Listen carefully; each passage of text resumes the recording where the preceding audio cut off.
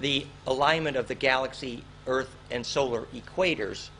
And I have a beautiful animation of that right here. Look at that. Found it. So, galactic equator, solar equator, Earth equator, and at a certain time you see the 90 degree click. And that's a compression point. and to survive that compression, all structures will be tested. That's sort of the metaphor. Now, where I'd like to go in this conversation at this moment to try to finish one thought um, is about time.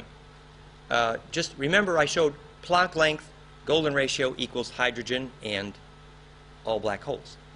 Um, now we'd like to apply that to the study of time, which would be relevant to your interest in astrology, hopefully. You know the famous book, of course, The Spiral Calendar by Carolan. It's related to the prediction of the stock market by golden ratio, Prechter and Elliott wave. We wrote some equations. We think we can perfect that story, actually. You do a second order power spectrosepstrum of the volume analysis and look for golden ratio. Anyone who wants to play with that, we'll do some software. So the spiral calendar showed that you um, can take golden ratio as a pattern in time and predict when events emerge from chaos. And the key was golden ratio in time. Now, I subsequently wrote some new equations, very, very simple, but very, very powerful, to analyze the nature of coincidence. And I just want to point out how this fits what we're talking about at this moment. goldenratio.com slash coincidence.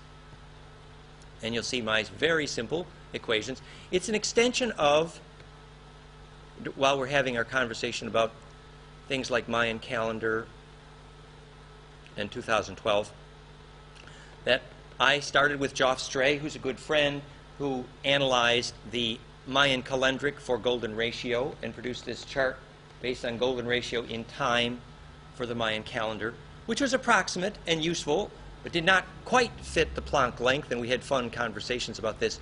So the Planck length, Planck energy, has a correlate called the Planck time constant, which is a unit of time which defines sacred in physics, clearly.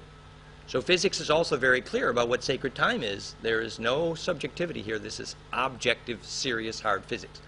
So I took the equation, which I had already written, which we're using for reinventing a lot of hydrogen energy technologies, hopefully. The, what's called the palladium sputtering frequency. You know, palladium is dodecahedral and key to cold fusion. And the frequency at which it melts most efficiently turns out to be the frequency Kanzius found out was the best one to split hydrogen. It's called the Kanzius hydrolysis. And the world's most famous scientist, Rustum Roy, got very excited, and he, we're playing together with his group in Pennsylvania and believe they'll be doing a lot of reinventing of hydrolysis. Because if you know the musical key signature to ring hydrogen at, then you can obviously reduce the, the power required. And that's called uh, nonlinear hydrolysis, perhaps. And but where I went with this was to say, oh, look, that frequency for palladium and hydrogen is my new equation, Planck time times golden ratio equals the frequency of hydrogen. Not just this, the radii of hydrogen, Planck length times golden ratio, but Planck, Planck time times golden ratio equals the frequency of hydrogen. Now, I'm, I'm giving you my reason for having this discussion at this moment is to suggest to you the very, very solid physics behind the concept of fractality in time. That's where I'm going with this.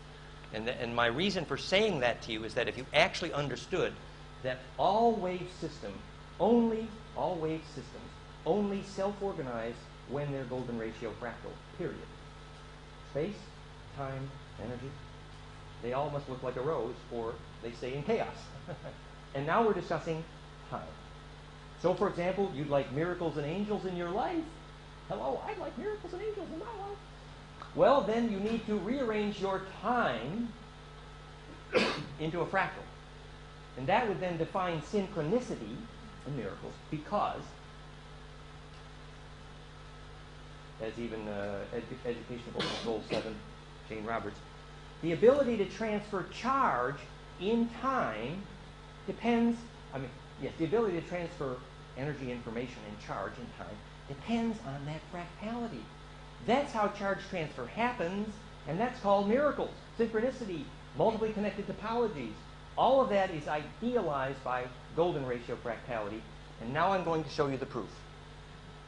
Okay? So I took this equation for the timing of hydrogen, and I made the frequencies for phase conjugate dielectrics that I used to create fermentation and the electric field to cause all of growth. I took that equation. Now, I'm not going to show you those actual frequencies because the people working with me would like to earn some money someday. but anyway, I took this equation and made the frequencies to make phase conjugate dielectric resins. I just take piezoelectric oscillators and I ring a resonance at the moment of crystallization, and I make growth. We're going to talk about this later. I made the electric field to cause life using that recipe. I did it. It works. We, the PhD chemists measured 50% fermentation rate. We know why your compost co- pile gets hotter when you put it where the magnetic lines cross, and now we know how to perfect that. We know why Stonehenge causes seeds to germinate. We know why. It's a fractal field. At any rate, I only bring that we're going to talk more about the technologies later, but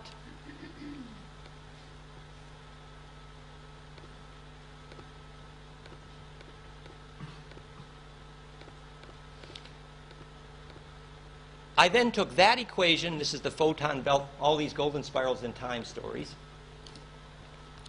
I took that equation and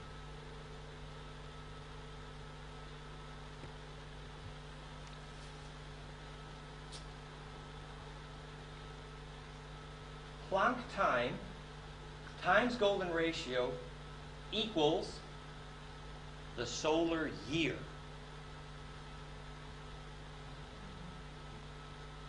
Planck time, the Planck time constant, the amount of time which is sacred to all of physics, the Planck time constant, the Planck time constant.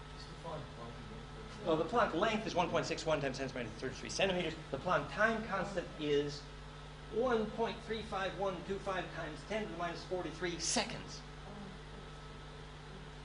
The Planck time, the, in other words, sacred, sacred physics time, Planck time, times golden ratio equals hydrogen, equals the solar year, and equals the Venus year. Precisely. Or, so, so precisely within like one hundredth of a power. And so here's a picture of the Venus year. Oh, what does the Venus year look like? This is the, this is the orbit of Venus. There you have the orbit of Venus. Osiris is returning. He's going to live in that plasma field. You know why he's going to live in that plasma field? Venus rising, morning star. If you read, now later this afternoon, we're going to talk about Uras and the story of the returning dragon Anunnaki and the history of DNA. Well, at the end of that story, you have uh, Anton Parks' last book, which is called The Testimony of the Virgin, in which she's trying to reconstitute the body of Enki, Osiris, returning. And where is, he, where is she going to stick him? right there. And you know why? Because that's the shape of the plasma field, which makes it inhabitable, a living body. Okay. And the top-down view of that is pent. Repent and be saved, says the Baptist minister. yes, go ahead. How does all this correlate with, you know, movements into the information and light dimension? And then how does that correlate with, you know, trying to find the theory of everything, string theory? Uh, may- could you say the first part of your question a little louder so they hear it? Uh, from an essentialist point of view, you know, there's uh, the idea that actually we're expanding into, our consciousness expanding into Maybe different give him the camera. dimension upwards. And so how does Dan's work to do with ratio correlate to dimension? You? Um, what we're saying that the number of dimensions you live in is the number of axes of charge rotation superposed in your DNA. That would be a simplistic. So this afternoon's, the way we start this afternoon is to describe the recursive braiding in your DNA electrically measurably responds to human bliss. You make golden ratio in your aura, your DNA implodes, it braids recursively, gets thicker, and becomes like a donut. This is where we're going this afternoon. And so your DNA, by embedding longer and longer wavelengths in the recursive braiding process, see that's that's recursive braiding. Notice how fractal that is. So your DNA is a slinky. Uh, yeah, where's my slinky? Oh, thank you.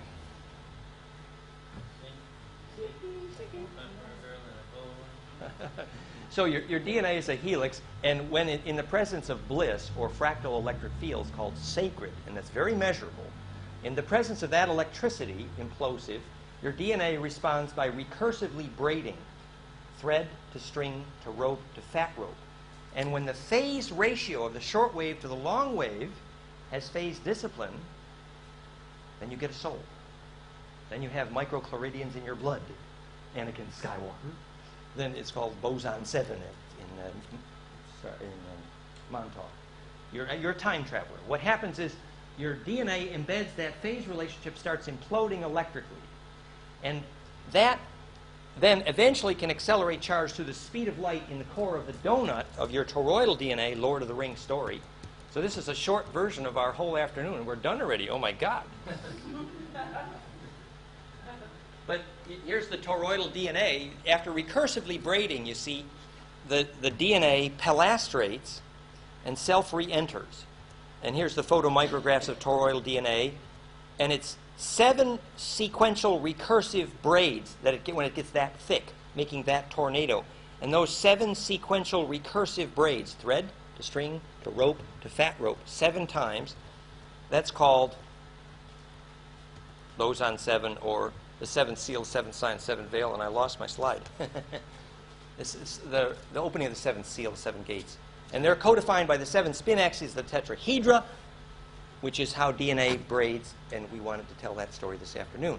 So, to finish your question, going into the next dimension is when you become part of a longer wavelength electric field because another axis of charge rotating is superposed in your plasma, mostly because of what your DNA just did. And that shows up in the harmonic analysis or power spectra. Here is the power spectrum of EKG at the moment of love, we're going to play with tomorrow morning. This is my invention, the heart tuner. And here's measuring the response of DNA to coherent EKG, the effect of love on your genes. This is the measurement. So your DNA goes, sucks up all that beautiful electricity by imploding, recursively braiding. This is the way it's measured. Glen Rein did this at my suggestion. Measured the amount of the enzyme associated with the zipper of the braiding process. And so the, the, the amount, the thickening, the plot thickens, Mr. Einstein. So the thickening process, the recursive braiding, is measurable by the increase of the enzyme that holds it together during the braiding process. If you measure that enzyme in the presence of love, DNA says, oh, I just braided because I felt that. And so this increase in the number of harmonics present in your electrocardiogram, what we're going to do together tomorrow morning with you, is called ascension because the number of harmonics inclusive ascend. Harmonic inclusiveness defines vitality in medical studies on heart rate variability. Harmonic inclusiveness is optimized by fractality and golden ratio. In medicine, it's called the healthy heart is a fractal heart. And therefore, get fractal or get dead. no, and so the, the number of harmonics present show the number of axes of rotating charge that have been superposed, and therefore how many dimensions you live in. Sort of the physics of the Sedona bumper sticker ascend already, we need the space. Except when you turn blue. It, the, the, the turning blue is the charge radiance, initially ultraviolet, which is triggered by charge implosion. The compression allows the charge radiance. Another way of saying that, in the way a biophysicist would discuss subcellular metabolism, is that high quality ultraviolet light is the motor of all cellular mechanics. And when you make that high quality light, think of it as sex juice. if you find some place for it to go, the blue flash during good sex or menopause Your plasma then can get projective, and that's called a body polis, the definition of the word politics.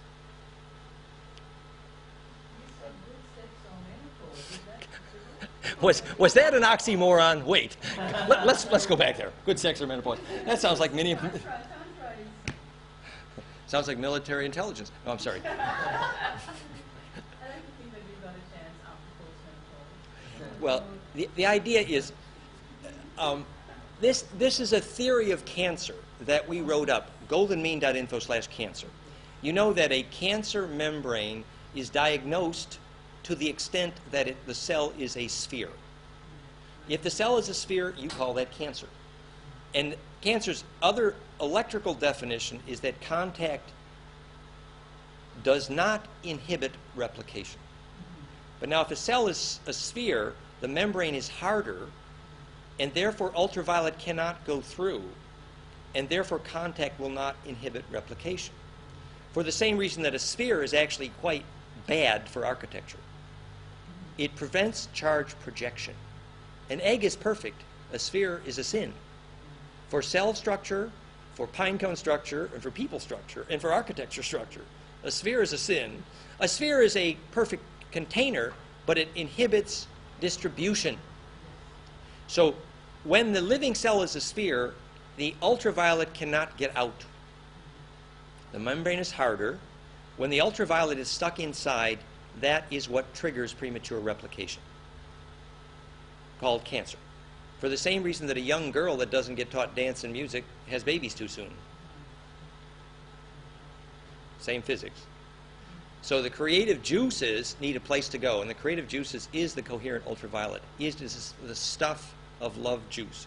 Ultraviolet, the blue fire, blue flame, is the love juice at the cellular level and at the tantra level, in both cases. So they turn blue because it's radiating. That's right. For the same reason you have the indigo kids. Is In- blue light in meditation? Or? Yes, and the blue light special at a cheap restaurant. No. no, but i- i- indeed, the, the, the blue plate special, excuse me. No, but, but the, uh, in meditation, indeed. And, but that's why we mention menopause, because you see, if your body does not have to make eggs all the time, there's extra blue flame available. So it, it doesn't, you know, it means when you go to your doctor and say, I'm having a blue flash, I think it's menopause, and he says, I think you need a pill. Actually, it, it's, it's, because, it's because your doctor does not know something that your DNA does know, which is that it's fatal to be stuck below the speed of light. It is. It's absolutely fatal to be stuck below the speed of light. And your plasma's way of getting through the speed of light is to squirt its polis, its plasma, through the blue flame, ultraviolet, high frequency coherence, eventually through the speed of light. And that's your way to accelerate, and that's called immortality. That's where we're going with this physics. So actually, when you have that blue flame, the idea is not to take a pill, but to, rather to do something with it. If you're in a metal building, it'll probably drive you crazy. But if you're in nature, you might be able to sail, and those wings are called. Um, that infinity walk we talked about. You know, um, you put a figure eight. We did this before, but for those who weren't here, you if I visualize there's a figure eight around me very accurately, and if I keep my eyes on the center of that eight, and I walk with a cross crawl like this around my large figure eight, notice at this point I change direction. And that's the point that I was forced to do a radical change of blood flow in my brain. So as I do this, I feel. See that change right there? That change of direction right there? So as I do this, I feel my corpus callosum getting very hot. Right? So I can feel right now that this is warmer right here. As I phase conjugated and compressed the blood flow there. And that, that exercise called Infinity Walk is a solution to dyslexia in the book by that title.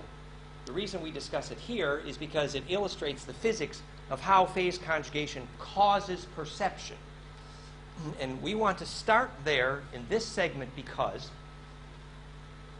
we're, in this segment we're going to take the details of why the two pine cones crossing here, the two half hemispheres, the two pine cones cross, and when the two pine cones kiss, the plasma between them implodes and creates a centripetal force. Remember, that's the cause of perception gravity, life force, color, alphabet, and time. A very important thing. Does that have to do with pineal? The pineal gland is right above that cross point, and it's there to implode the juices in the perpendicular axis. Because if you look at the physics of actual phase conjugation and optics, phase conjugate optics is actually four opposing light cones looking approximately like. So if you draw a picture of how phase conjugation is done with lasers to create self-organization, it looks like that. So you got the two hemispheres of the brain doing this, and your pineal is sitting here looking like that.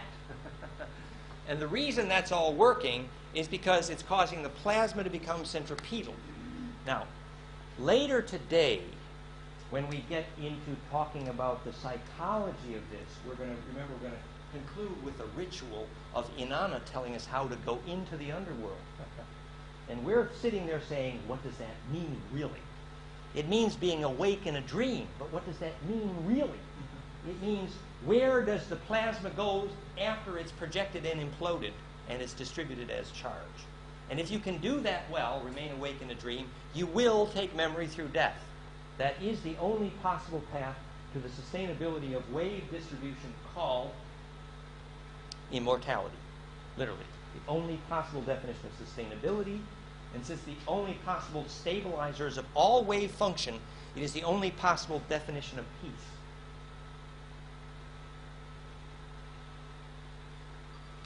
And forgiveness. Can you say one time more? So since it's the only way all any wave function can become self-organized and stabilized, that centripetal force becomes the only definition of peacemaking and the only definition of forgiveness. Perfect embedding, yes? So if you're going to understand the psychology we're going to do later in the day, you need to get the science we're doing right now. So please hang with me for a few more minutes on the science. I estimate another 45 minutes of core science. Then it's a free-for-all. Let's talk about whatever you have fun together and just play and relax and play with this. But please stay with me for the core science. And the core science is since I am suggesting to you that what happens between these two pine cones right there is the reason perception, life force, and gravity exist, that centripetal force, you need to know why there is centripetal force implosion there. If you understand why for yourself, then the rest of this all makes sense. So right now, at this moment, I'm going to try to show you why that makes forces centripetal. Yeah?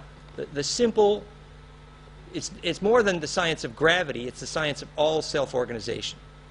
So remember, we're talking about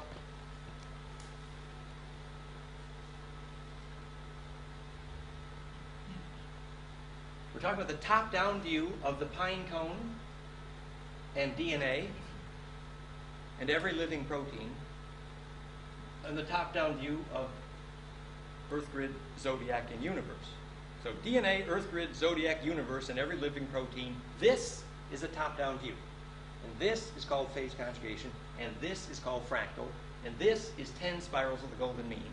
And this is waves crossing in golden mean ratio. That's what that is. And why does that become centripetal? That's the essential question.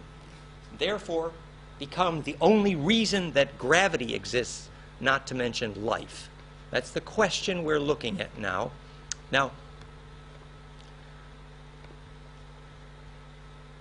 to know how, how that works and why, you need to know the most important thing that screwed up poor Mr. Einstein. Remember, Einstein knew that infinite compression was the solution to everything.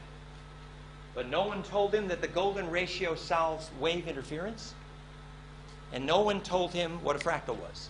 That's why Einstein was a screw up, basically. Poor guy, I'm not picking on him, another one. But it's, it's really rather embarrassing that today physics has no clue why an object falls to the ground and no clue what electric field makes light. That's disgusting. Frankly, it's embarrassing. It doesn't take, you know, a five-year-old can figure it out. And so really, Mr. Einstein, in today's physics, the fact that physics does not know that this is the only solution to wave interference, and therefore compression, is the reason that physics does not know this is the cause of gravity and life. That is embarrassing. It's why our planet is retrograde, I mean, in terms of conscious evolution, because we didn't figure that out. Einstein knew infinite compression would solve all his problems, but he didn't have a clue how infinite compression worked. And the reason he didn't know was he didn't know that this ratio among waves made wave interference most constructive. And you can prove that in a simple equation like this. You just add and multiply waves in a nonlinear medium. If, if the waves add and multiply in golden mean, you get infinite, you get most constructive wave interference. If they add and multiply in powers of two octaves, you get most destructive wave interference. Simple, easy physics. So when your physics teacher doesn't know why an object falls to the ground, it's because your physics teacher didn't realize that this was the solution to wave interference. And therefore the solution to compression. Remember, the solution to compression is the history of computing, the history of life, the history of gravity, the history of the unified field. It's all about the solution to compression. It is the solution to how to die well, literally. So let's study the solution to compression because we might get it.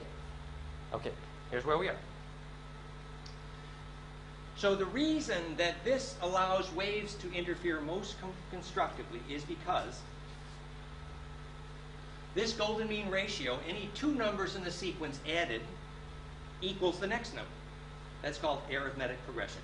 Add any two numbers, you'll get the next number, and you can do that forever. But also, in only this progression, you can take any number in the series and multiply it by 1.618, and you will get the next number. For example, 0.618 times 1.618 equals 1.0, and 1.618 squared equals 2.618. So any number multiplied by 1.618 equals the next number infinitely. That's called a geometric progression. In other words, this progression is arithmetic and geometric.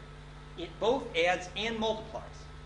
And when waves interfere recursively, called heterodyning, that's what they do. They add and multiply. That is the reason that that ratio solves wave interference. And that's what Einstein missed, and that is the core stupidity, and I use the word stupidity with emphasis, of modern physics, is not to know that. And here is the actual proof that if you write a simple equation to cause waves to add and multiply, software equation, large number of adding and multiplying of waves by octaves, you produce destructive interference. 2 and the square root of 2 is the ratio of a large number of waves interfering. This is a net power output. The octave produces max destructive interference, square root of 2 and 2, whereas golden mean and square root of golden mean produce maximum constructive, constructive wave interference. So, all the geometries of the tetracube, seven arrows, the octave, they produce maximum destructive wave interference.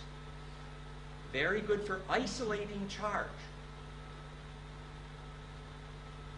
So it's not evil, it simply means that that geometry prevents charge from being distributed. That's why the beehive stores the honey in a hex. All hex geometry isolates charge, very useful in certain environments. In your house where you want secrets and privacy, a square, a cube, a hex is very good.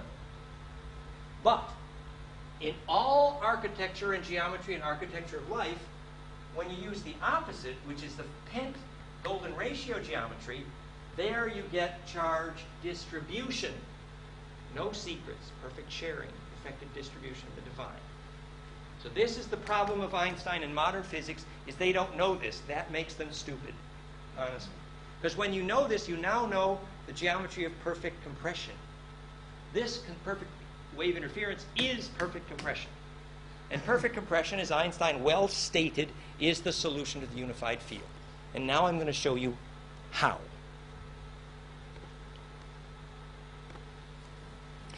Hmm, well, first, you know, in the 3D animation of this, remember, we got two pine cones like two lasers approaching from opposite direction, and the two pine cones kiss, and the plasma between them creates a zone in the plasma which is becoming centripetal. This is the part of your brain when you feel bliss, or the part of your body when you feel bliss, that starts to spit out mucus and self organize and get young again. It's, it's literally the solution to immortality, quite literally. The title of our book Implosion Secret Science of Ecstasy and Immortality. Yes?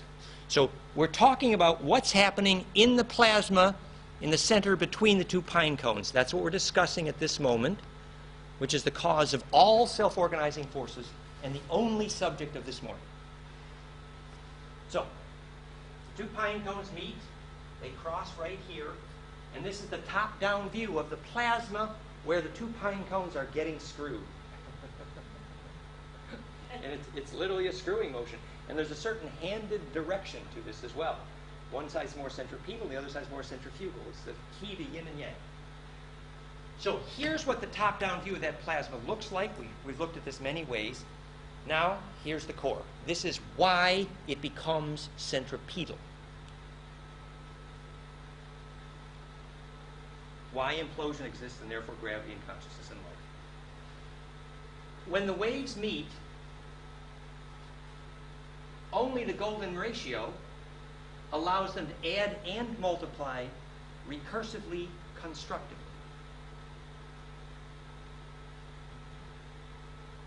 It's called heterodynamic, recursive wave interference. And when they add and multiply constructively infinitely, infinitely, um, they add and multiply not just the wave length, but also the wave velocity. I repeat, they add and multiply the wave velocity. In physics, it's called the phase velocity. That means that part of the charge that's in rotation, that's experiencing compression, part of the charge is experiencing the adding and multiplying of the wave speeds, and that's called acceleration. So some of the charge during compression experienced acceleration. In physics, that's called gravity. Any questions? So the reason gravity exists, remember this is a top-down picture of hydrogen, for example, as well as DNA. And DNA, we know, makes little black holes. Peter Gariaev measured DNA is a little gravity-making black hole engine. Here's the top-down view. Part of the charge is adding and multiplying the phase velocities by golden ratio and so there is an increase in speed of a portion of that charge accelerated through the speed of light at the center by multiples of the golden mean ratio times the speed of light. Where did the charge go? It went down a wormhole through the speed of light. And we know that uh, Professor Chiao has measured golden mean multiples times the speed of light. That's proof of this theorem. That where the charge went is golden mean ratio multiples times the speed of light. And those wormholes is where the charge goes in gravity. And that's why the charge has to go somewhere from the Earth to the sun and out. And when the moon gets in the way, it gets messy, actually. But we'll go there later. Is, does that explain universe, why the universe is expanding? Well, it explains why the universe is dodecahedral, because it needed golden ratio to make gravity. It explains why the universe is fractal, um, but in that view that the expansion of the universe would stop if it got fractal enough. So actually, I think the universe expanding model fails to understand the fractality in time. And I agree with the uh, Duane Elgin theory of continuous creation and Arthur Young reflexive universe that instead of seeing the biggest Big Bang, they kind of see a conti continuous donut thing, where the shape of the universe is a saddle shape on a donut based on a dodecagon. That's right. Implosion solves the explosion. Yes. The, the other way of looking at it, again, ties up with Milo Wolff and Nassim Haramein, is that you've got two directions always. Yes, so that's you've right. the flows of That's right. going into a black hole, which is, you know, This is other halfway between dimensions. two colors. Right, yes. and you've got stuff coming out of the black hole, Mhm. which is creating the expanding universe. And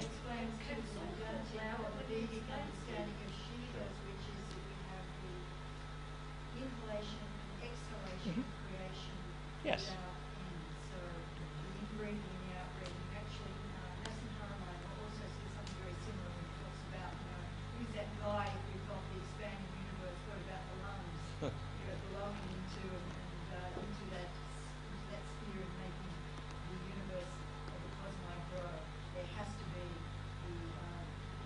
The in-breath matching the out, out-breath, yes. And the lasers have to perfectly match or they don't conjugate.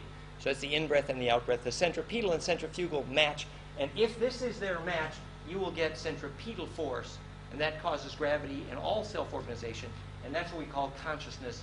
Consciousness means, if you dissect the term, con with shus, S-C-I-O-U-S, with turning inside out, ness. And this is that. You see, which in the Vedas is called the ability to self-refer, defining consciousness, which we now know in physics. The definition of the golden mean spiral, optimized translation of vorticity, means the only angle of non-destructive self-reentry, thus defining self-awareness. That's why you always have two implosions discussed in any, any field generally, except for in this area, implosion is regarded as something negative. That's right. That's right. When you start talking about implosion, scientists think, "Oh no, we don't want to implode that building," but but they don't understand non-destructive compression, where something more coherent comes out than went in. You see, the other physics of this is that in that center of that plasma, the implosive process means every wave that doesn't fit this nest is canceled when it gets to the compression maximum.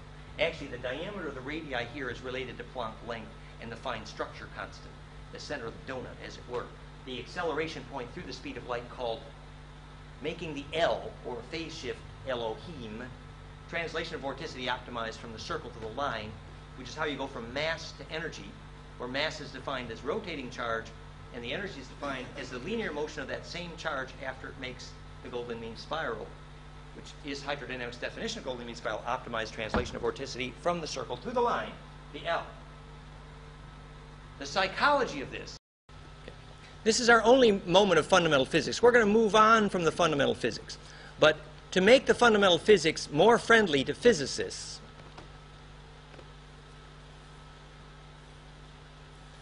let's start from the very beginning, as they said in The Sound of Music. um, eh, in physics, 99.99% of the uni- universe is made of the stuff called plasma. Plasma is a cloud of electric charge that cloud hangs together if there's something centripetal at, that at, at the center, which is called fractality, we now know. So that's what holds plasma together. Many modern physicists uh, now agree with the plasmauniverse.com and the Thunderbolt video series that the shape of giant interstellar plasma, if you draw them well, is the shape of all the ancient pictures of God. A lot of modern physicists are teaching that God is a cloud of plasma. And that actually is a pretty good introduction to God because these are self organizing electric fields and you can steer them like tornadoes. And if you inhabit plasma storms that big, you get to be called Yod He Vohe. Two cones, God, right? Yahweh. Right? And in my paper on plasma physics and the origin of the word Yahweh is goldenmean.info slash Yahweh if you're interested. Maybe we look at the pictures. Anywho, so if you are an electrical engineer and you want to know what our theory of the unified field is, and unified field th- thinking is the point. Because we need to be able to see what's happening in the plasma implosion in the center of our bodies to make gravity and affect stars.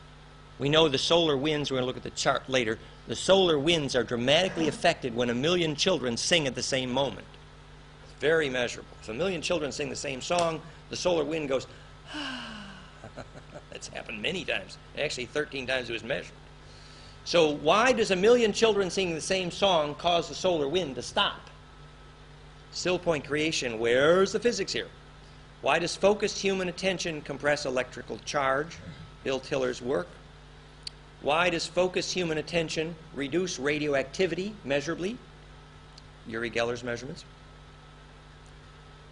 This is because focused human attention is an implosively centripetal, phase conjugate, or fractal plasma field. The two pine cones of plasma, remember your two halves of your brain are phase conjugating. The two pine cones kiss. There's plasma between the two cones approaching, and that plasma starts to implode and becomes centripetal. The key to all of physics and spirituality mystery is right there in how did the plasma between the two pine cones kissing get centripetal at that center. That's what we're here to understand this morning. And the point we're making to introduce that beautiful issue is to understand how powerful plasma is. How could it be that the plasma sucking implosively at the center of your pineal gland sucks in every bandwidth, everything in physics? It's electromagnetic, it's gravitational, it's infrared, it's ultraviolet, it's all of the above. How could it be all of the above? The answer is simple and clear. Phase conjugation, by golden ratio definition, is inherently broad spectral. I will repeat. Phase conjugation, fractal implosion, is inherently, by golden ratio definition, broad spectral. That means golden ratio is the only ratio that can theoretically allow an infinite number of waves in finite number of waves to converge at one point. Have I made my point? It would be pointless otherwise. So, so, so this is the idea that that geometry creates a centripetal force, and so you can take control of everything that physics knows about, quite literally, when your biologic plasma implodes in phase conjugates. That is actually the point. So to make that statement real, this is, remember, this is a class for electrical engineers now, um, my profession supposedly. So in electrical engineering terms, that means what is plasma? 99.99% of the universe. What is plasma made of? A cloud of charge. And you should ask me, what is charge? You should ask me that. And I, Charge. well, thank you, thank you for asking the right question. uh, charge, the universe is made of one compressible material. Understand that, and you're in business. And that compressible, imagine waves traveling in jello. It's called the ether.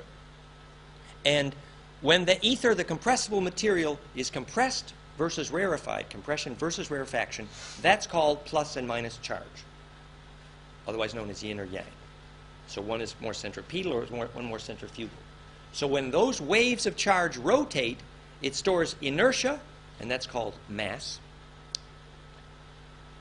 like a gyroscope. And the timing, the period of that rotation, is our only definition of time. So rotating charge defines mass and time. Simple and clear. And therefore, fractality in time allows charge transfer. So if you want miracles, study that. And that's, that's our next subject here. But just, just before we finish here, so this rotating system of compressible material called charge now um, means that the universe is basically one contiguous, and this is the picture for today. Look, different wavelengths of charge is everything that physics talks about. From radio waves the size of planets to gamma rays the size of atomic nuclei. And notice that visible, invisible, microwave, ultraviolet, it's all one wave. Oh, does that look like a caduceus? Maybe we're getting there. Okay. So the only thing that did not used to fit this chart, Nassim showed the strong nuclear and weak nuclear are part of this chart. And now I have shown that gravity is part of this chart. When charge waves add and multiply using golden ratio, their phase velocity, charge is accelerated, and that's how fractality causes gravity when golden ratio is present. Because the phase velocities add and multiply. We're going to talk more about that. But that's so now you can see it's very real to say that I am a wave made of charge. Say that. I am a wave made of charge. I'm a wave made of charge. What is the role of mind among waves? I am a wave waving. Am I a microwave? That's so, so once you get comfortable with the idea that you're a packet made of waves, then you can throw your weight around. You need to be able to make centripetal force and steer tornadoes as a wave. That's the goal. So essentially, the plasma field around your body is this, and you're going to make centripetal force and become a gravity maker, and then you get to throw your weight around. That's called self-empowerment. Questions? Yeah, well, this is uh, highly relevant because that ring in the bottom of my finger was manifested by Sai Baba, and it sounds like you're talking about it. yes, and the Vibhuti analyzed had some gold powder analog. and we'll go there later in the conversation. But it sounds, well, the point I'm trying to make there is that if you, manifestation. Yes, Yeah. that's right. Manif- that, that creation is the compression of charge, and when charge is compressed to store rotation, it's called mass. And compression only happens in a fractal. Okay? Yes? So given that we've, uh, we've just gone through a period of over a year without solar flares, um, although we are coming up to solar maximum in two thousand and twelve, but there's been an increase in gamma radiation on the planet. How, how does that equate with charge, like through the solar system at the moment? Um, we were going to do our uh, celestial history story a little later, but this is fun. It's very, very fun. We can play with that now. Um, the question is about the solar maxima. Um, Jenny has mentioned that in the last year, with the solar winds being down, we've been doused with gamma rays in the solar system. And um, the larger picture, perhaps more significant, I believe, is that the whole last 11 year solar cycle was canceled. You know, they canceled George Bush's war because nobody came. Well, somebody canceled the last solar max. And, um, you know, you give a war and nobody comes, it gets boring. So, so no, but the, the last solar maxima was canceled, and any solar scientist will tell you that um, that um, if, if, a, if the 11 year solar max is canceled, presumably due to lack of interest, although we're not sure, um, um, then the next solar max will be a killer.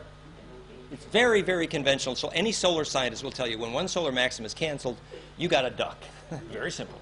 And the next solar max is scheduled for 2011. It's clear. The one that was canceled was 1999 to 2000. So however you do the shtick, you know that the sun's about to burp big time. Very conventional.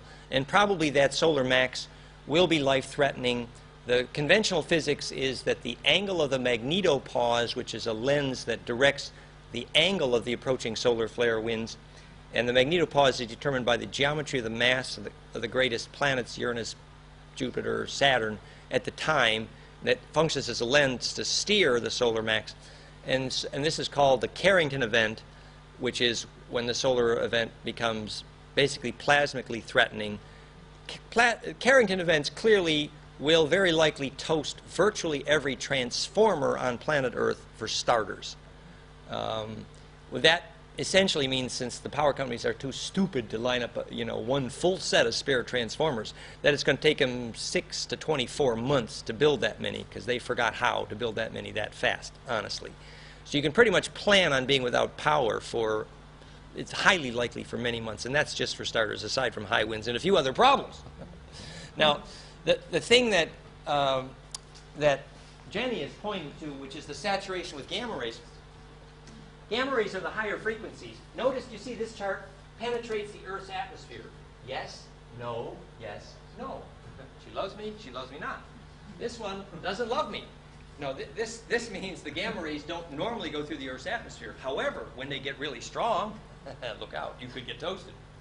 Um, this, the, the sort of science that I would turn to to talk about Jenny's question, and I'm sure I can't answer it well, but I would turn to Paul Laviolette, galactic superwave. And Paul Laviolette has done a pretty good job of analyzing the physics of what was incorrectly called the photon cloud, which is actually the fact that the solar alignment with the galaxy core precipitates a dramatic increase in interstellar dust and gamma, which penetrate the solar system, causing a rapidly rapid increase in the temperatures inside the solar system, and an increase in the temperatures inside the planets, which is now scaring the astrophysicists and being measured. So yeah, and the only thing that will not experience heat during that compression wave called the rapture is fractal. That's the only thing you can compress without making heat. Very simple. So it, this, this is an introduction to our conversation for later, which is the magnetic map of your heart and your house and your bed and your garden and your town and your planet need to look like that rose. this is the this is how to redesign the magnetic map of your bed and your house and your heart and your town and your Can you show us how to do that? Can That's- help us the you know, and that a lot, a lot of what we do tomorrow is around that question, practical applications. And it starts with literally, do you know how to douse, to feel the magnetic lines, and then do you know how to rearrange them to look like a rose so that they will invite compression instead of at, at the end of instead of, you put the fundamental Christian book, The Left Behind.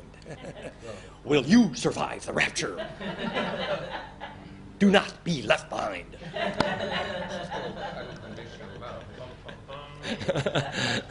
Uh, the, the question was, It's called unconditional love. yeah, uh, let's be romantic here, please. Let- By all means, romance is good. Uh, in my view, and our little joke was, love is long wave phi ratio, or lo fi means to embed. So non-destructive embedding. This is a term they use in Playboy magazine, non-destructive embedding. right. Um, non-destructive embedding is this uh, ability of the little wave to fit non-destructively inside the big wave. If you're doing a chart on how to do feng shui, they start with this kind of picture, how the little fits in the big. But the physics of how little waves fit in big waves non-destructively is perfected by golden mean ratio. So, in you know, let's go somewhere practical with that thought.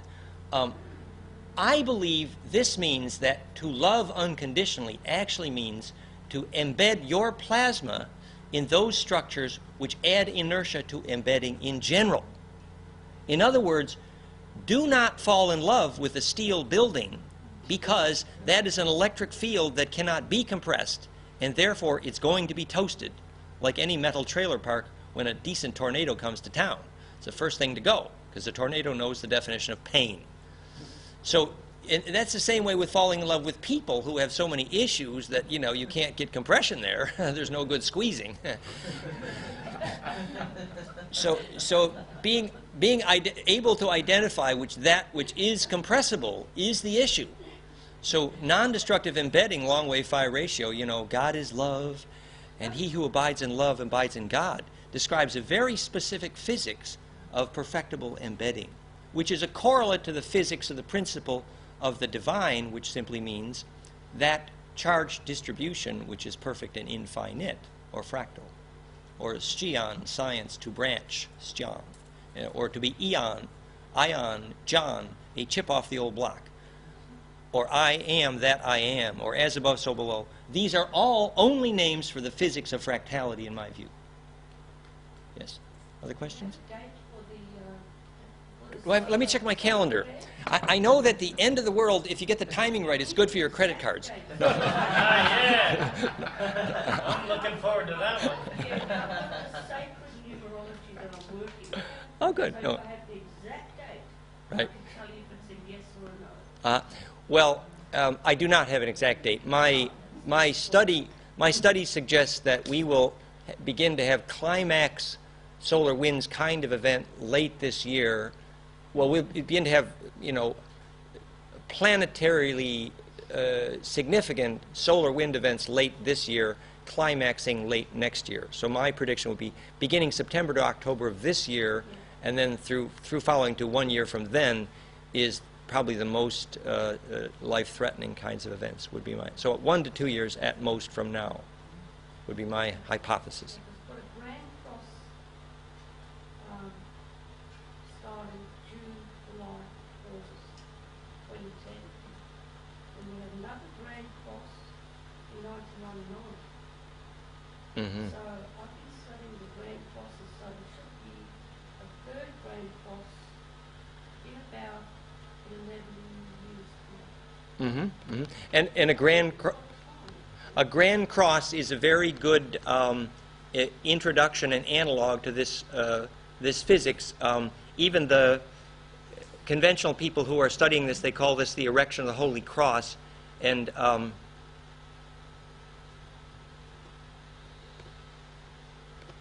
there's a, a visual here.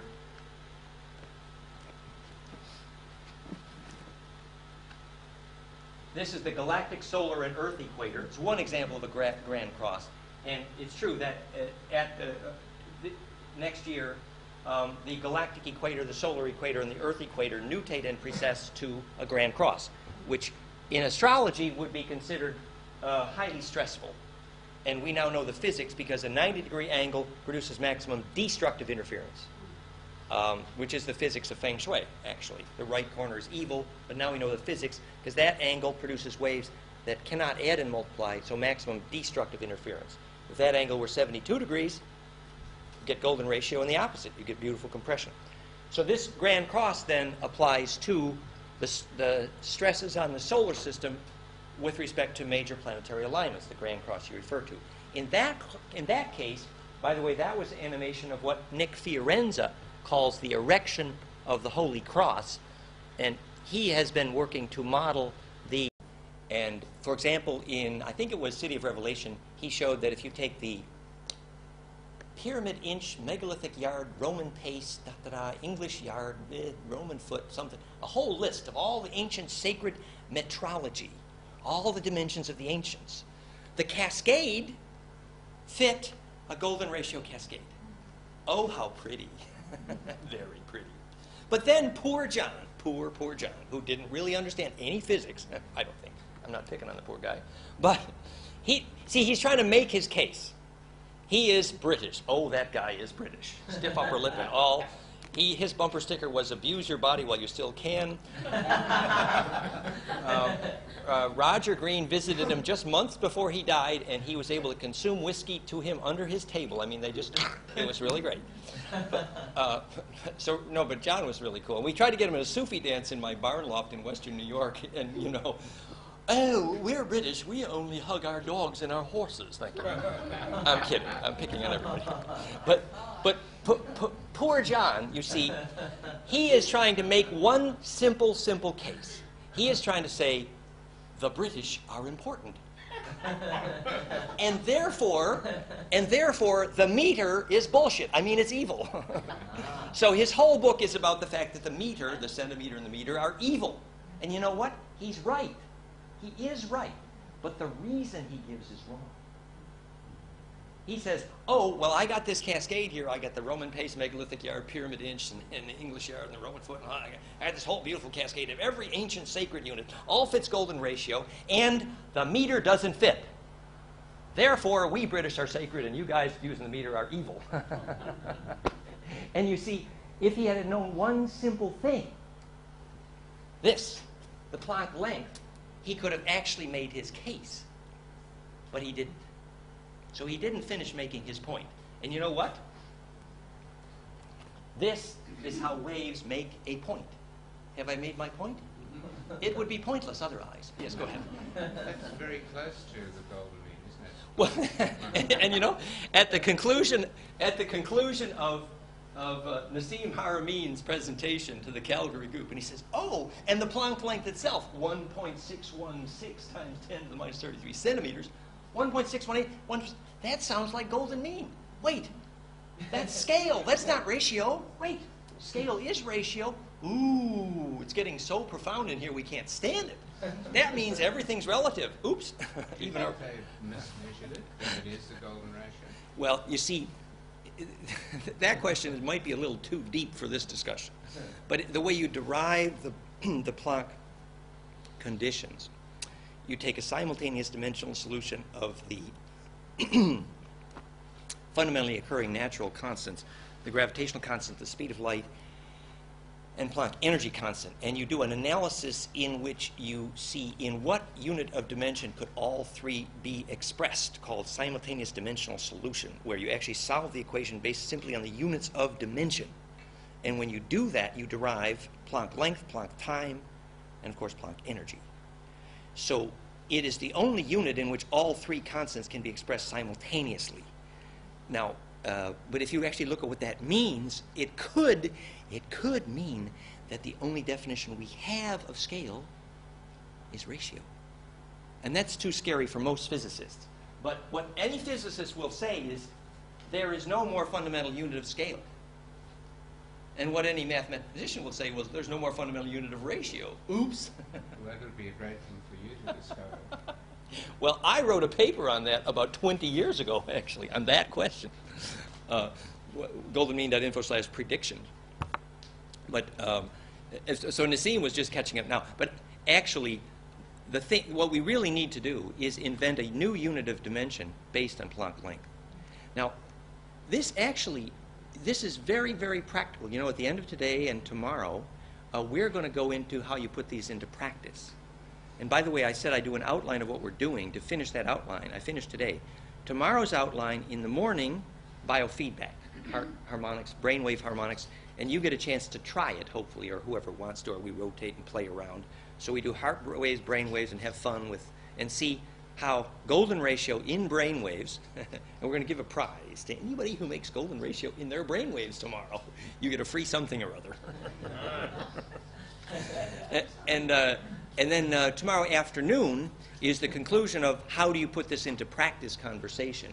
We discuss the hygiene, and a big part of that hygiene is the beautiful, fun, highly visual slideshows, pictorials of biologic architecture, geomancy, sacred architecture, geobiology, and we're working with people who are leaders in those fields around the world. So we got the best pictures. so we conclude in a light note. But um, to finish this conversation, then, um, you see that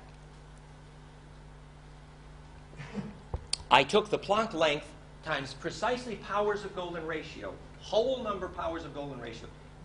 No, ze- there's zero, zero, zero, zero point. There's no possibility that this is an accident. There just cannot be. That a precise power of the golden ratio, 116, 17, 19, power of the golden ratio produces precisely the radii of hydrogen when multiplied by Planck length. No, that it cannot be an accident. The only explanation is hydrogen exists because of this shape a golden ratio cascade. This is 0.6181, 1.618, 2.618. Golden ratio. This is the reason hydrogen exists. Period. And this is how it makes the gravity. And this is how gravity is made in general. This is the beginning of our evidence that electric fractality is the cause of gravity. And by the way, my, the title of my paper I presented in Budapest, Budapest six years ago with Nassim when we had the argument, before he got there about fractality, well, the title of my paper was Golden Ratio Fractality Causes Gravity. So I do make the humble claim of being the first to announce. but anyway, I, I, d- I don't want to be the one. I mean, there's lots of questions. I'm sorry, but I think they're very relevant. Uh, there's another guy called Marlowe Wolff. Have you heard of Marlowe? I have heard of, but I don't know very well. Okay, so there's the Vedas which say that Om, okay, Om is the, and Om for us who don't know is a, a scalar wave. It's, uh, it's different from electromagnetic uh, information, and the Vedas say that everything came from Om. And Marlowe Wolff, uh, I encourage you all to read his books, took a model of the electron and used scalar waves and solved it and it's um, it's on Amazon if you want to uh, down. Mhm. But you'll find it absolutely fascinating because you were saying everything comes from electromagnetic, Mhm. or like gravity comes from electromagnetic waves, Mhm. and he intuited that everything comes from scalar waves. Well, you know, I would, in, in my opinion, the words scalar and torsional, which are very common in non technical communities, are a bad word for phase conjugation. And that the correct physics term would be phase conjugation. And to use ohm as an example, here, when you pronounce ah, this is ah, well, this is, first, this is the power spectra in thousands. So this is 500 to 3,000 hertz and this is the dB, and this is time. So if you say ah and then e, so with e your, your tongue fills the center of your vocal cavity and cancels out the mid-range harmonics. E. This is literally to shape your tongue. So this is ah, e, o, u, um. This is ohm. Pronounced carefully.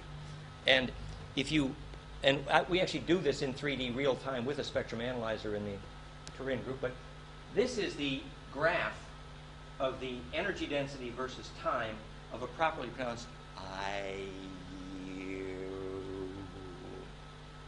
So clearly, what's happened is you've initiated perfected compression by what's in physics this is called perfect damping. It's also called phase conjugation, and that induced still point is the implosive point, Bindu point, and so the fact that he calls this scalar or torsional tells me he doesn't understand phase conjugation. Well, scalar in Marlowe Wolff's is very, very simple. Yeah. Scalar just means non-vectorial. Well, you see, that's uh, actually, I think, unhelpful language, and not to pick on anyone here, but what's happening here is phase velocities are being accelerated between frequencies by ratio. And so some of the charge under that compression has been converted from compression to acceleration. So I, I don't object to the terms scalar or, or torsional, which are very common. However, most people who use those words do not understand phase conjugation or they use more accurate language. That's my I'll- thought. I'll try and keep silent after this, but I just want to say one last thing. His model had um, scalar waves collapsing into a sphere center, Yes? doing a spherical rotation in the middle and bouncing back out.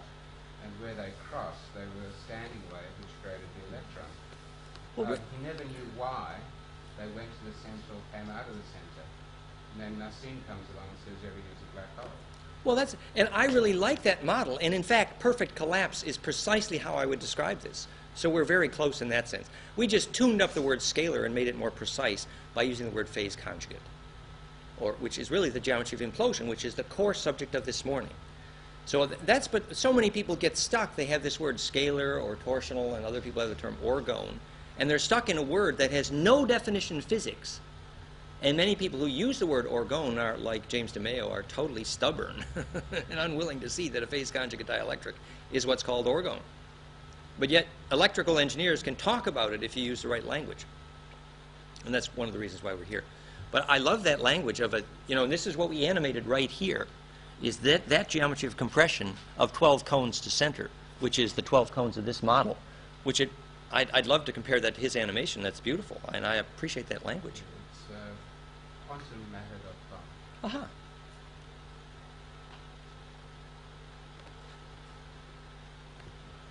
But do you see why the, the properly pronounced ohm you can actually determine by spectrum analysis if you did it right? And you are creating a still point, which is literally implosion point. But you see the Tibetan multi-timbral choir. I,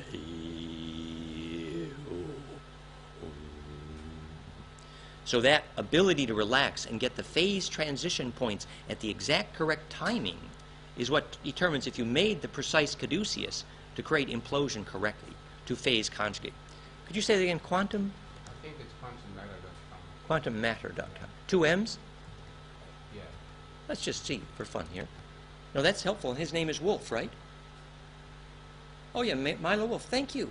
No, that's fun. That's very relevant, and I like that model. So he and I could have a fun conversation about his definition of scalar versus my definition of phase conjugation. Yeah. Oh, I see. I see. That's. I see. Okay. Well, thank you. And it's great that you've been studying this stuff. By the way, Saul here is one of the core, shall we say, activists of the local Byron New Energy Group, and they're doing lots of really cool work on creating nonlinear energy technologies and experimental magnetic motors. And I'm pleased and excited to begin more collaboration with that group. And we're cooking up more fun right here in Byron. And our host here in Byron, Noah, many of you saw his name on our poster. Noah is one of the organizers of Byron New Energy also. So you're act- and Saul here is actually building an experimental magnetic motor called the Steorn right now, which was the most recent meeting. And we're going to talk a little bit about phase conjugating magnetics and our technology later as we proceed here. So thank you for being here, sir. Um, the conversation we were having, now remember, we've decided we're going to try to get very focused and understand a core principle here. That's where we're going here. The- where we left the, that conversation was we figured out that hydrogen looks like that. And here's the equation, and this agrees nicely with Nassim Haramein that everything's a black hole, especially hydrogen. Another way of saying this is to say that um, in the atomic table, the reason that atoms are able to make gravity is only because their nucleus is fractal to their electrons. And my new equation for hydrogen is part of that proof, as well as Nassim's new equation for the mass of the proton, proving it's a golden ratio black hole. So that gives us new way to understand the work by the chemist Moon, University of Chicago, very famous, who provided rather extensive evidence that the geometry of the nucleus, protons, neutrons, called the hadrons, the way they nest in the nucleus for the whole atomic table was tetra, cube, octa, icosa. Star tetra, cube, octa, icosa. So what's the icosa on the outside? Hello, that is actually the name for this. That's what that is. This is that. And now my proof is that the ratio among them is golden ratio, which is the ratio of dodecacosa, dodecacosa 3D fractal here. So this is the only possible 3D fractal in my view, which is why DNA, Earth grid, zodiac, universe, and hydrogen are this shape. okay. So now that's the geometry of the nucleus. Here are the electrons, SPDF suborbital, 1357 donut pair, 2, 6, 10, 14 electrons. That's the whole atomic table, SPD and F. So the S suborbital is a donut, two vortex, very simple. That's the, and this is the physics of what the S suborbital look like. And by the way, keep this picture in mind because later in this conversation, I want to explain to you what the shape of the plasma around your head looks like when you have bliss. These are the two hemispheres of your brain. One is centripetal, one centrifugal. And this is the phase conjugate perpendicular plane. So this is the plasma around your brain when you make golden ratio called ecstasy or bliss. And this explains why the two hemispheres of the brain are doing this.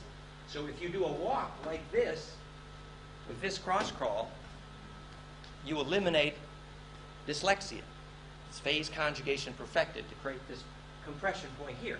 So keep this picture in mind. This is the two hemispheres of your brain. This is pointing toward the pineal, and the pineal is over here. The pineal gland. Thank you for the pine cone, sir. Thank you. The pine, the pineal is right over here between those two hemispheres, saying, "Oh, oh, I think I feel phase conjugation coming," and it's lit on fire. And I have felt that many times. That's why I talk fast. So the, the SPDF suborbital is uh, two electrons, S suborbital, donut. Pi suborbital, this is the physics, tetracube. Three vortex pair, very simple. You take three pairs of donuts, you got yourself a cube. and that's called the pi suborbital. And the D and F suborbital, 10 and 14 electrons respectively. 5 and 7 vortex pair. The 5 7 vortex pair are the Anu and Dodecaecosa. And if you look then at the table in occult chemistry, later justified in today's modern physics by Phillips in England in his book Psi Perception of Quarks,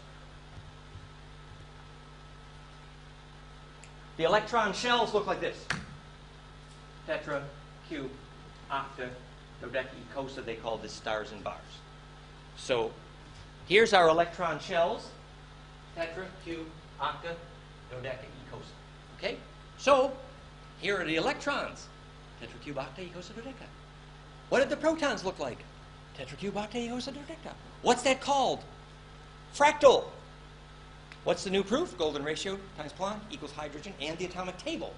So this is rather overwhelming evidence that it is that fractality which induces what's called non-destructive charge collapse, implosive attraction of charge, a fractal attractor. And that is the cause of gravity. And I don't mean subjectively, I mean objectively precise, precisely what Einstein never figured out, why an object falls to the ground. Now you know. Now, I want to say more about that to make that sort of this, this is our only moment of fundamental physics here. Did somebody have a question before we? The arc angles. Yeah? Yes. Uh, sorry, I just totally misunderstood the last couple of sentences. Could you explain that in a Um, about ultraviolet? About cell metabolism? About menopause? What, would- what is I- not. I'd say pretty much everything. Okay. Maybe you could sum it up in a I'd couple love of to sentences. explain the menopause bit because it's very exciting. Go ahead. I went to my guru, I never had any chemo or something, but I was quite young, I had my three kids, Osho, and the dancing, and I was orgasmic, I was orgasming in the blue diamond everywhere, you don't have to have a partner always. But I, once my menopause was gone, like, you know, leaving the house. And then one day, there was kind of a really nice big time, everybody we just ran out. Some people ran on the stage to mob the poor guy. But I just ran out into the, along the ridge, and I started to bleed again, and I started to laugh, it was just so bliss. It was just at one time. So I know what you're saying, but then ever since I've been treated, I've been sort of feeling a bit restricted because I've been colonized by Sri Lankan. There's Something, something can't really fly.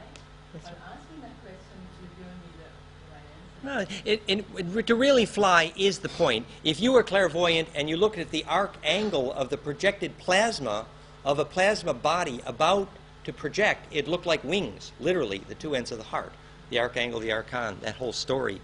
Um, so it's really true that your plasma body's final yearning is to achieve distribution. Very simple. That's why ancestors get stuck in the land. They didn't find a fractal enough place to become projective electrically. And that's sort of advanced physics. But we, we want to go back here a little bit for Richard. Um, we, we started this by saying the cell takes in food. Very simple. The food are relatively long wave.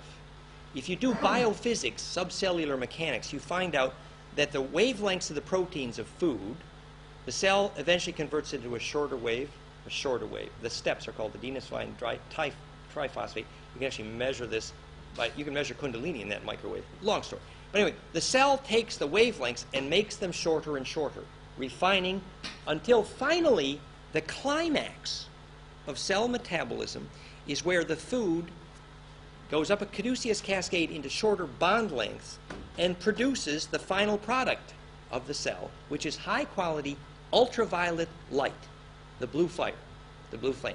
This is like the climax of cell metabolism, just like it's the climax of your orgasm, actually. The adenosine triphosphate is the step function of the caduceus.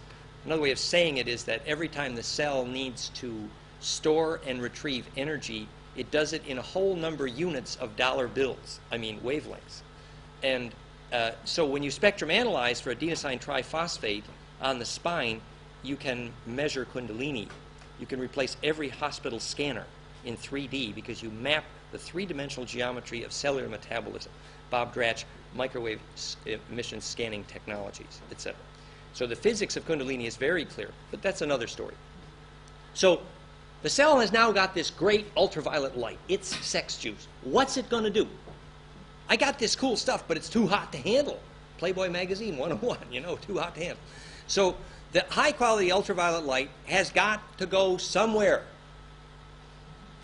Now, if the cell has gotten stuck and is not sociable with its neighbors, it will then become spherical and the membrane becomes harder and the ultraviolet is stuck inside. That is the way cancer is triggered. The premature because the ultraviolet goes to cell center and triggers replication. Because that's how replication is fired. Yes, yes, dear. Could you then say that um, cancer cell is a selfish cell, it's not sharing, it's not... Yeah, but I mean, would you say that the young teenage girl who didn't have dance and music is selfish because she wanted to have a baby? it's more like a closed system in nature instead of an open That's right. Yeah. I wouldn't pick on the little girl. I'd try to help her, you know. Same thing with the ca- cancer cell. It's not evil, it just didn't learn how to share very good. So it didn't get to have much fun. Like a non-shareable cell. That's right. yes, shareability. Yes, good. So uh, the, the plan B is if the cell is, is egg shaped by golden ratio, ideally, its plasma ultraviolet is projective, and then it's distributed to its neighbors. And during foreplay, tantra, and kundalini, the ultraviolet juice can gather at the tailbone. And if the tailbone, and this is our, we might as well have that discussion. This is the biology of Kundalini 101, the Bentov conversation, the biomechanics of Kundalini, and this is my original expertise, and Bentov was my mentor. Um, the biomechanics of Kundalini is that the tailbone becomes a sucker. As we joke, the Scorpios love this conversation because we don't apologize for sting, we enjoy it. I'm a double Scorpio. My partner Valerie's a Scorpio. We can enjoy this conversation. We hope you enjoy Sting. So the tailbone is a stinger. And during Kundalini, the organ Kundabuffer is a um, the organ Kundabuffer is a device which regulates the uncurling of the tailbone. And as the tailbone uncurls, which is related to the pelvic tilt, if you do this and then this, and your spine liquid pumps, it is now clinically impossible to be depressed if your spine liquid is pumping. Sacrocranial Physics 101, Upledger Institute. So the tailbone is now got a plug in called the Kundabuffer, you know? And if you get that bloomin' plug unstuck from your tailbone, do it gently because it could explode.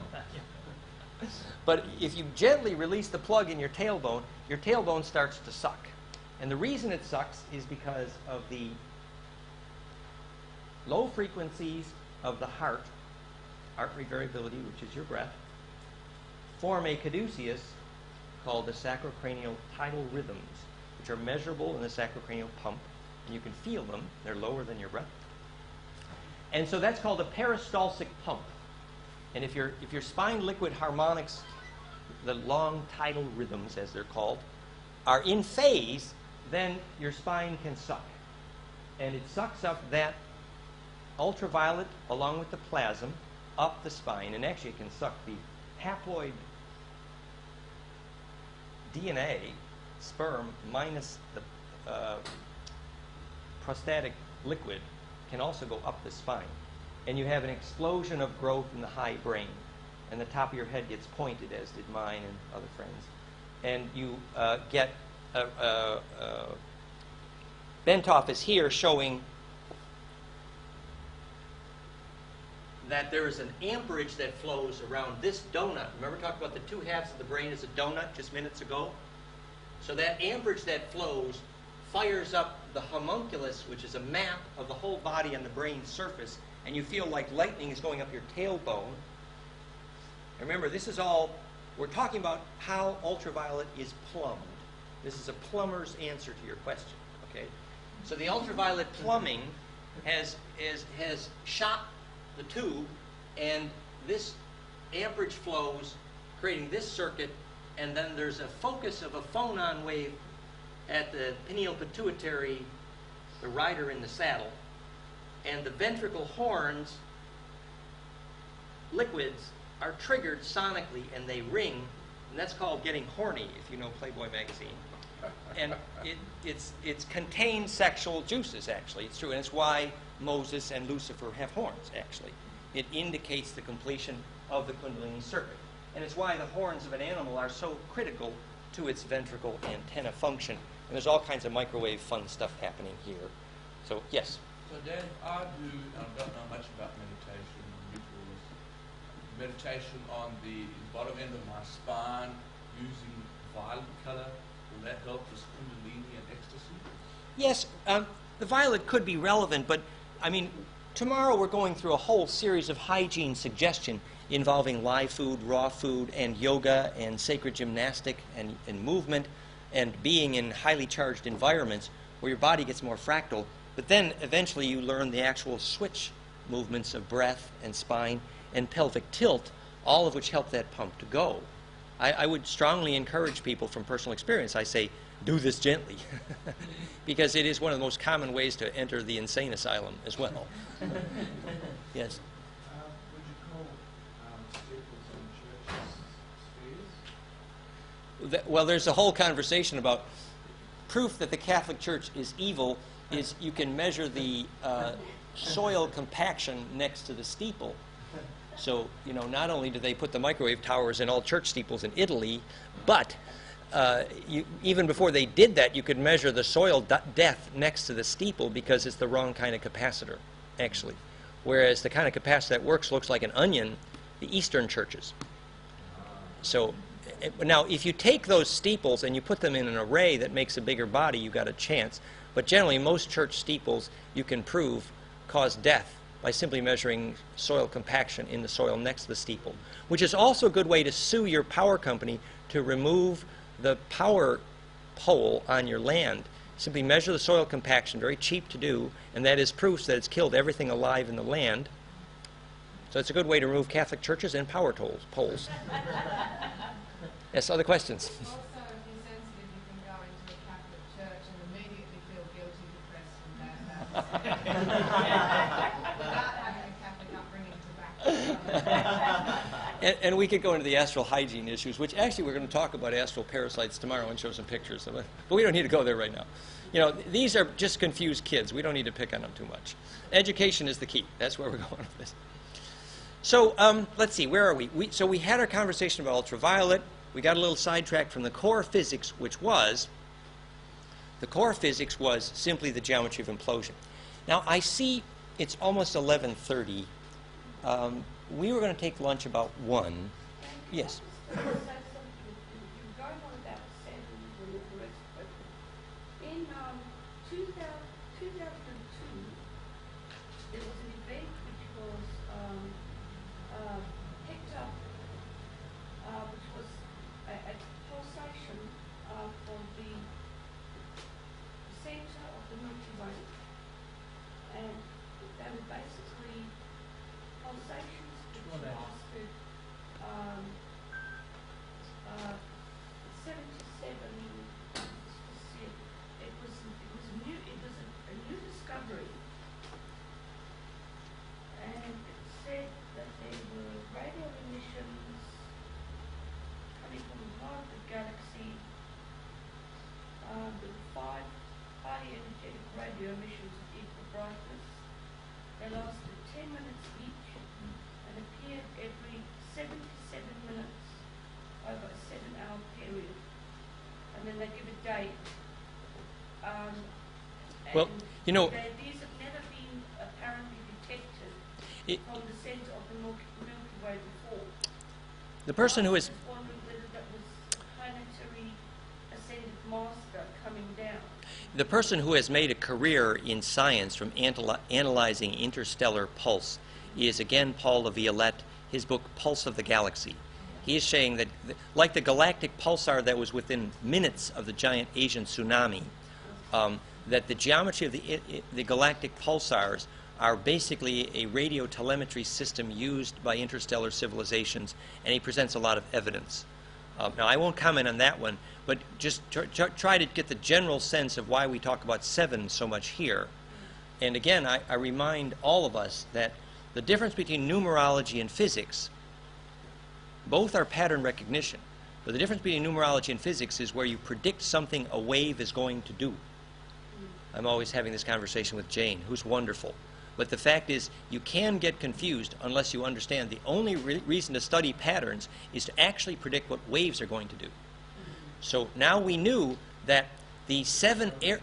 Pardon? Because they've done them before, so you can, because it's happened before, so you can predict the future by the past. Or yes, or both. But yes, but the point is that the symmetry study, the pattern recognition, is only proven useful when you see something that waves are doing. Or you're right, y- you don't have to predict it. it when, when, it illustrates, that's right. Yes, a pure principle of wave function. So what we what we're after is a pure principle of wave function, and numerology is only useful if it helps us there, actually. Okay. So now I'm going to illustrate the power of seven from that point of view. The electrical engineering reason is powerful. Remember, the layers of heart muscle, the seven layers of heart muscle, are exactly the seven arrows to a tetrahedron. The Hebrew alphabet is the seven arrows to a tetrahedron. The sequence of the braid of DNA, the seven recursive braids, are the sequence of the seven arrows to a tetrahedron. Hieronymus Storm and the Anu and the seven five spin of the Anu, which is the shape of the human heart, the heart of the sun, and the heart of hydrogen, and the heart of DNA. They all have seven spins outside and five spins inside. So I'm now going to show you why those seven spins. In DNA braiding, it's called the seventh sign, the seventh seal, opening the seventh seal. Well, that will happen once your DNA makes the seventh recursive braid because you start to implode. And then you become a gravity maker. And that is the seventh sign. And it's not a mystery, it's simple and beautiful physics. And also, in terms of just the most practical present example, the human heart muscle, here's Here's the Anu, the seven spins outside and the five spins inside. Here's the five. One, two, three, four, five spins inside, and the seven spins outside. We're going to look more tomorrow. This is the shape of DNA braid because there's five spins in the helix and seven spins in the braiding, and therefore also the shape of the center of hydrogen and the heart of the sun, and that's the visual I'm looking for right now. So you're saying the sun is related to the solar sun? The solar heart is the shape of the Anu. Here's the slide. Thank you. So when clairvoyants look at the heart of the sun, it's an organ of perception, and the only way out of here, they see that. Anu, seven spins, five spins. When they look at the heart of hydrogen, they see that, the same thing.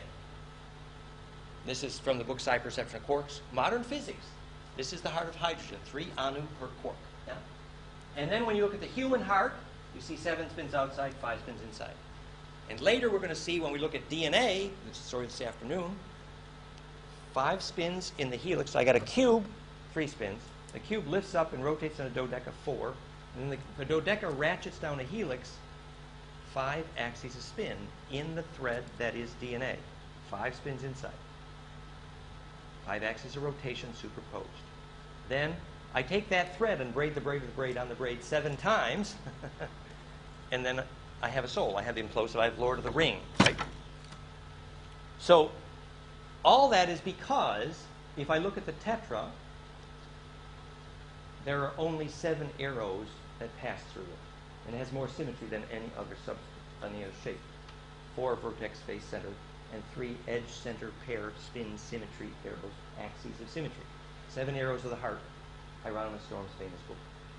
So that's why seven is important because if you get seven donuts rotating superposed axis spin in the tetracube, then you create the perfect, actually you create the perfect container. The seven spins tetracube is the perfect container. And the five spins, golden ratio, dodeca pen, is the perfect projector. And the anu, the slip knot, has the perfect projector, five spins, held inside the perfect container, seven spins. And that's the Gordian slip knot. And that's an introduction to symmetry group theory in physics. And then as we advance in that discussion, just to sort of, because we are, we, one of our excuses for teaching is to call it sacred geometry, which is really wave functions. Um, notice that each ball here of this model, each ball, the zone system, zometool.com, Z-O-N-E, each ball has 26 holes. Check it out, it's kind of cool. The reason there's 26 holes in each ball, which is called 26 string theory physics, all of physics, 26 holes every ball, is because seven arrows to the tetracubic array, here's the tetracubic side, and six pairs of axes of symmetry, one, two, three, four, five, six arrows to the dodecacosis symmetry. Six plus seven is one. Shall we begin? CNN is ready? CNN is ready. Great. We're live. Well, thanks for your dedication, really, to come, everyone, and care so much and be interested that much. My name is Dan Winter. As you know, the website is fractalfield.com and goldenmean.info. I particularly want to acknowledge my partner, Valerie Sandeline, who everyone knows makes it possible for us to run around and get in so much trouble. Valerie is from Sweden and Paris. And she's also happy to help you with uh, DVDs and books back there. And please, everyone, whatever arrangement you made for registration, we sorted out with Valerie. Just be sure we're clear. Thank you so much. And also want to thank Zakhiran for filmmaking and organizing here. Thank you, sir. So we're in beautiful Byron Bay as our friends from South Africa who came all that way. My goodness. um, and we're thinking of all the people in the rest of the world who are probably a little bit cold right now. And we'd like to tell you through the film that it's steamy here. That this is uh, not exactly what you call no sweat. If you relax perfectly, then it doesn't create heat. And that's the good introduction to the principle of what is a fractal. when you relax perfectly, you get compression without heat, and that is part of the metaphor of our day. So, first, we will do a, a short outline of our agenda. Um, so, this is a, an outline of the outline of the outline, which is very fractal. Um, first of all, the toilets are in the back, just so you know. We're going to take a break for lunch. Uh, probably we'll do either an hour and 15 minutes or an hour and a half. We'll probably break around 1, and uh, we'll talk about suggestions of where to go. There's places around. Um, since there's fewer places around tomorrow, you might want to consider bringing your own lunch. It's up to you, or do a picnic here either way. There's a little kitchen in the back, so people can play a bit if they wish. And Zakhiran is, knows the arrangements here in the facility very well. If anybody has any facilities or area questions, thank you, Zakhiran. Um, so, the description of our agenda. Um, my idea was while it's morning and we're fresh and it's not too terribly hot, we'd really get ambitious. And for, for starters, we will actually try to do the serious science. So the first, you know, couple of hours, we will try to be fairly structured and actually outline in as disciplined a way as possible what I consider, what we consider to be the serious science, which is, in summary, what is the geometry, what is the shape that makes implosion and all centripetal forces possible. So the centripetal forces are consciousness, life force, gravity, color, perception. These phenomena in the universe which create apparent self-organization and apparent centripetal or implosive forces, they're all caused in this radical new model of physics, and I emphasize physics, um, by a simple singular geometry. Valerie, could you just grab the star mother for me? And uh, so that simple singular geometry is this stellated dodeca that creates the golden ratio in 3D, which we believe is literally precisely a map of everything from hydrogen, DNA, the galaxy, stars, and how photons make color, and how your brain creates perception. Literally, precisely, and we don't mean, you know, poetic metaphor. No, we mean serious, powerful, radical, new physics of all self-organizing unified field stuff. so we're going to pretend to be a little bit ambitious and actually understand that. so that's that's our little plan is that we uh, try to do the core science this morning. Then then late morning or early afternoon, it's sort of the opposite of that. It's a relaxed free for all. Let's introduce each other. Let's talk about whatever you came here to talk about. Free conversation, really. You know, so we want to this this is your time. Thank you for investing that time to join us. And so be sure to tell us what it is you want to talk about. Cool, you know? So we'll have that free time, really open conversation, late morning, early afternoon. And then afternoon today is planned the sort of science of DNA followed by history of DNA story. Why is DNA so popular in this galaxy? and, and uh, you know, how does it work mechanically that DNA creates soul, that plasma tornado through the center, the braiding process? Why is it that DNA actually physically responds electrically to the presence of human bliss? And what happens to DNA in that electric field of human bliss that makes soul and shamanic astral plasma projection possible and all that cool stuff? So we're going to look at the science of DNA early afternoon, and then late afternoon today, as we're getting tired of the day, we do storytelling. And the storytelling is a short, brief, quote unquote, history of DNA, where we go into the, the, the stellar story of ancestor of DNA. And we may hopefully get a little time with talking about the Aboriginal story of origins. We have some experts in the room. Uh, Jenny is here, and Dave is here, and others. Uh, have, and, uh, and Michael. And uh, so, oh, John, I'm sorry.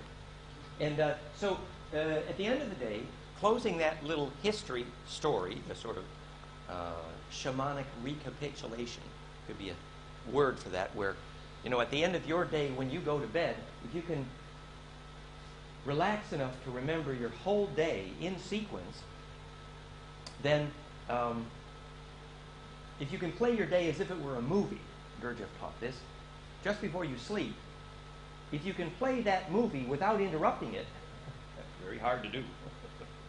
As you close your eyes, you're going to see if you play your day like it's a movie. As you can play the day like a movie without interrupting it, that means you've relaxed enough to process all the emotions and let it be. In other words, the emotion has become shareable. It's not going to distract you anymore. Everything there is shareable. It's been processed. Now you can go to sleep, and the collective mind can absorb that material. That's called shamanic recapitulation. It means you've digested your day.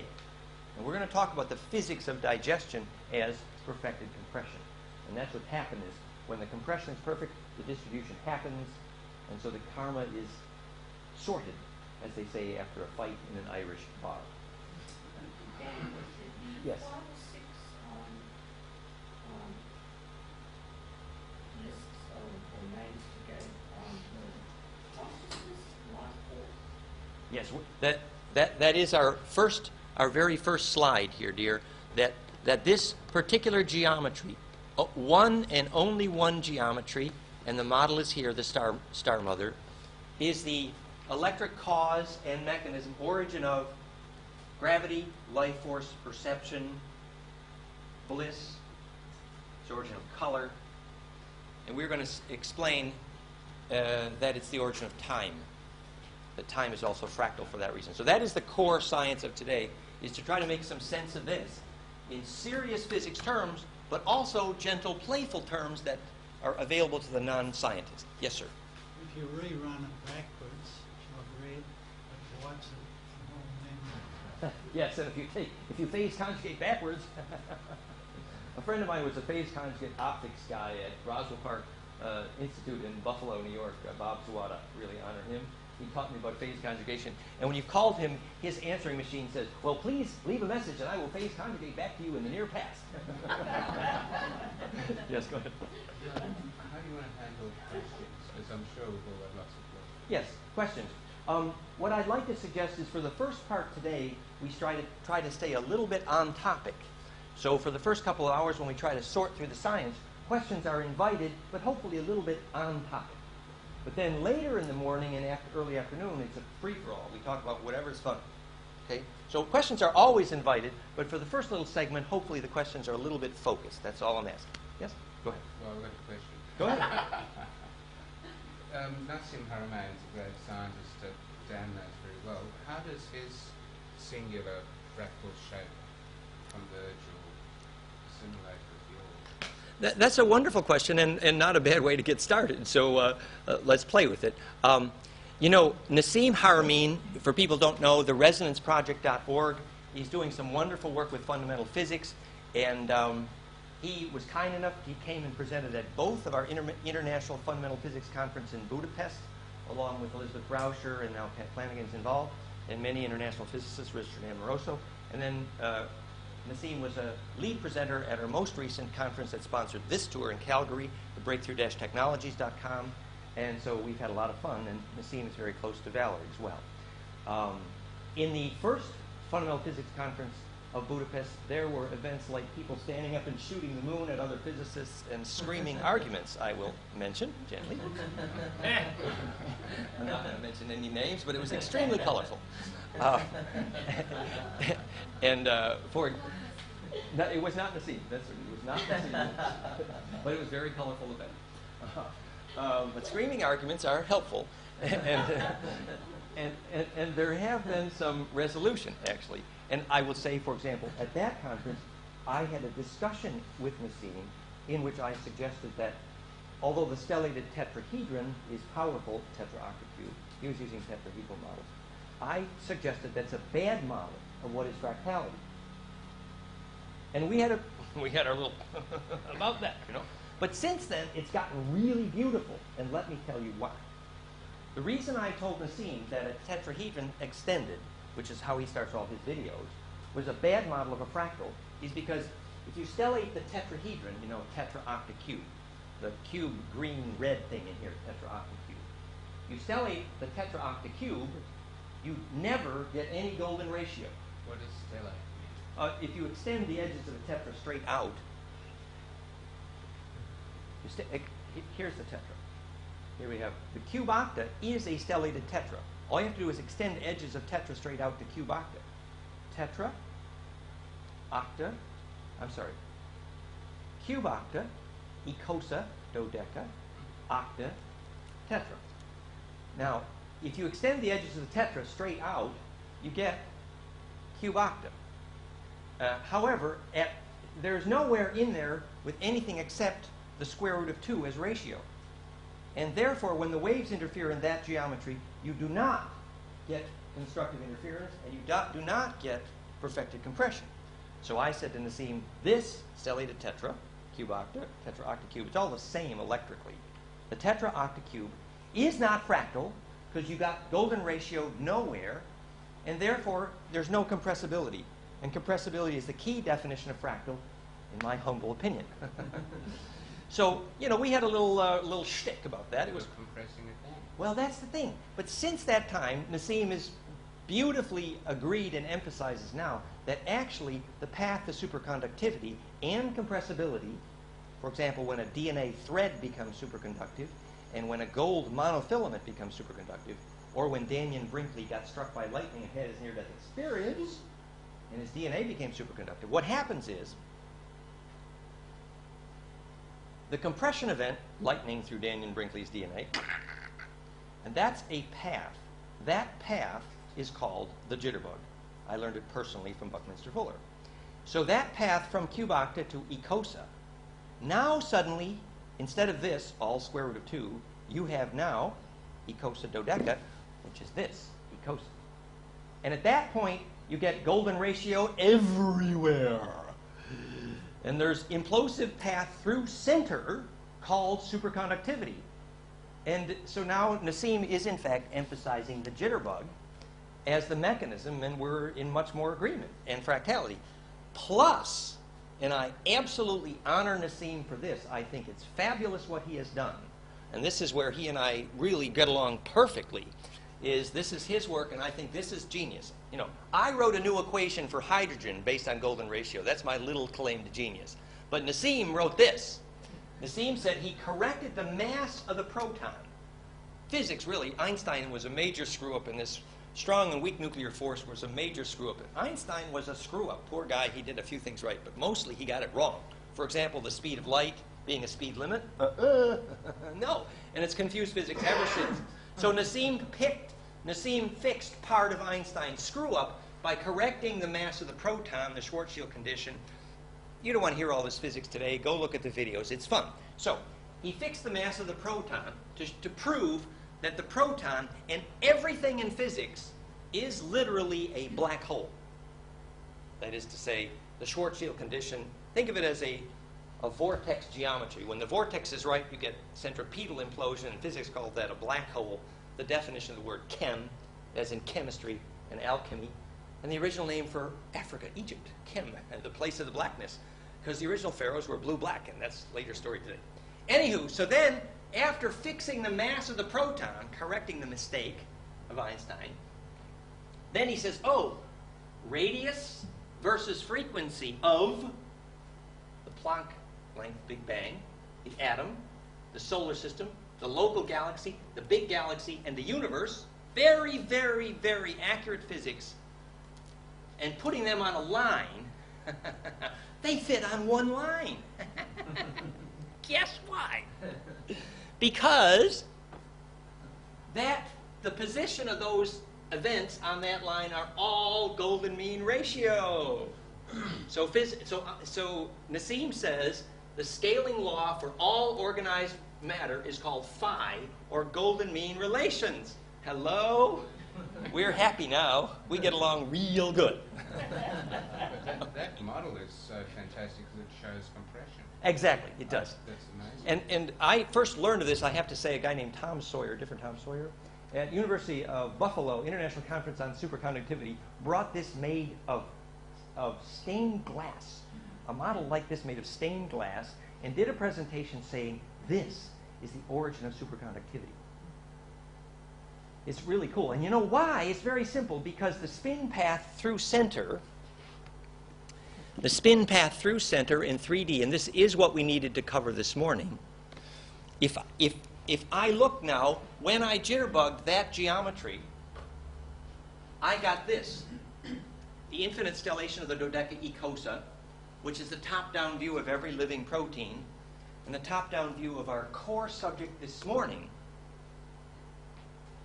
This is, this is the focal image for everything we wish to discuss in science this morning, right there. That's it.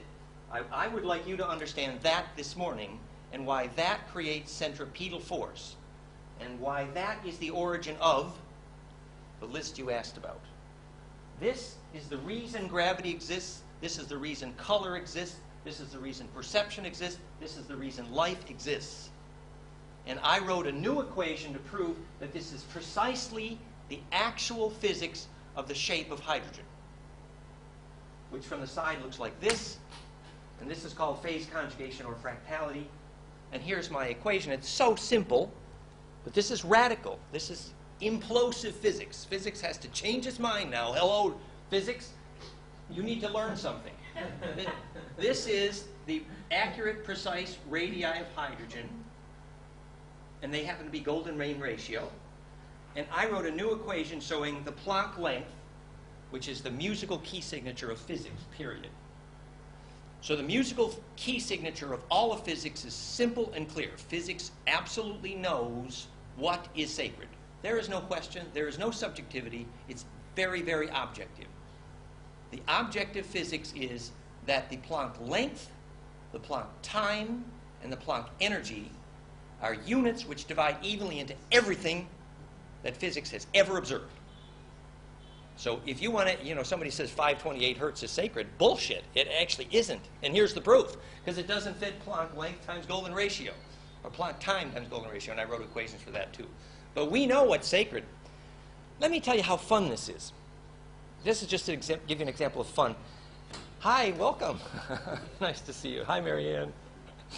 So, um, the fun story is my dear friend, recently deceased, John Michell, who wrote um, a lot of the early books on physics of, uh, on sacred geometry, uh, View Over Atlantis, City of Revelation, and they're very good.